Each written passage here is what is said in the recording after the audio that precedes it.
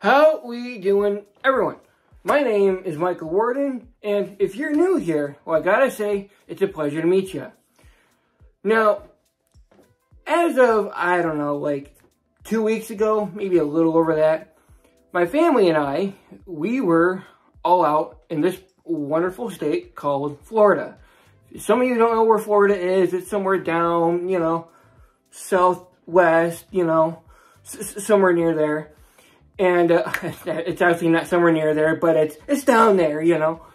And for like the first like I was down in Florida for 2 weeks. And for for the first like week, the other part of our party that was to be down there with us, enjoying Florida and the theme parks and stuff, no one was there. It was just me and my parents. And within the first week, we were trying to find things to do. And me and my family decided to go to a place called Legoland Orlando. And I wanted to make a video on it because I thought that the place was interesting. Um, I'm going to give my honest opinions on it.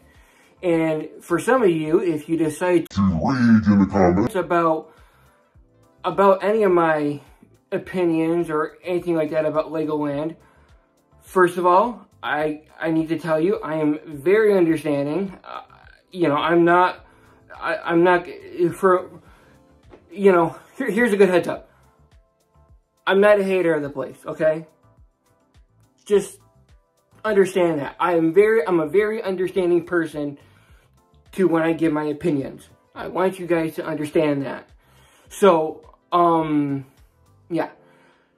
So, Legoland to me, it's a neat theme park. You know, everywhere you look, from a building to you, you know, to, to decoration, for the most part, it's Lego themed. And there's a lot of, you know, Lego friends, I remember there was a part of the of the Lego uh, Legoland.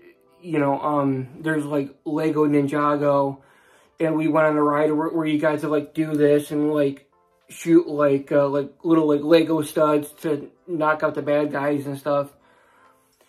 Overall, the Legoland theme park it felt very underwhelming. I was like, I was like, man, this is not um, something that, you know, like for someone like my age or like, or, or maybe a tad bit younger or anything like that, it's not exactly fun and exciting. You know, like, yes, I am, yes. With all, with, with, with all due, in a way, sadness, I am comparing it to, to Disney. But yet, at the same time, though, I'm very understanding that Legoland was is very heavily themed towards like families with younger kids, which is what I saw a lot of, you know, a lot of, you know, younger kids enjoying, enjoying, you know, Legoland and stuff. And all the rides, they're not super crazy, su super intimidating. They're not fast. They're not, okay, actually, there, there's a few roller coasters, but the roller coasters aren't really long. And there's not like crazy inversions and, and, and you know, contorting parts of the roller coaster or anything like that. You know, they're not super fast you know, it's all, it's all very, you know, you know, younger family oriented, you know, with, with young kids.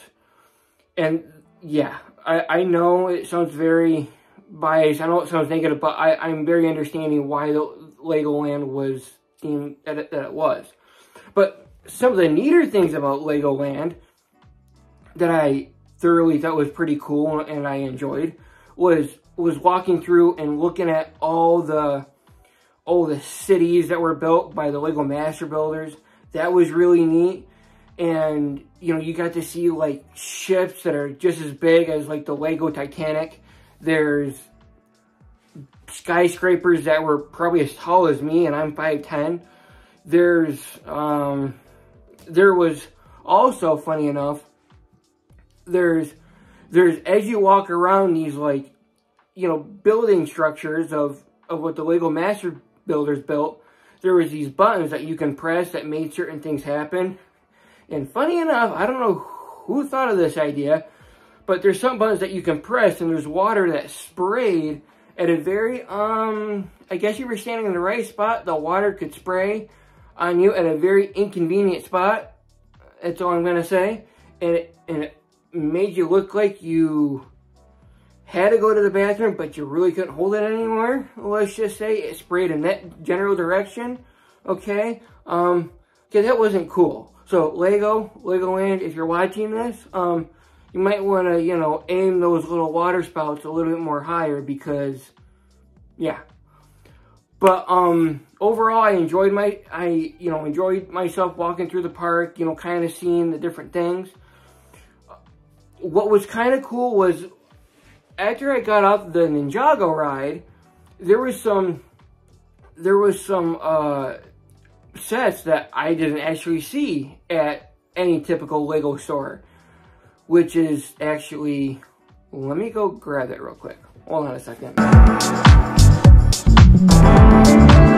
So this set right here, I actually got out in um, Legoland.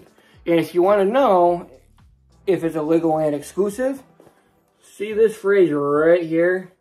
Okay, to me, as I'm recording, it looks, you know, uh, reversed, but possibly it's probably not going to be reversed for when you're actually watching this footage.